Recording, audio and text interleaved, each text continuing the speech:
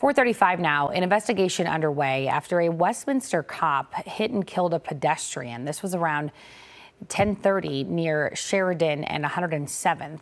Police say a man stepped into the traffic, was hit by the officer's vehicle and pronounced dead at the scene. The officer was not hurt and is now on paid leave, which is protocol.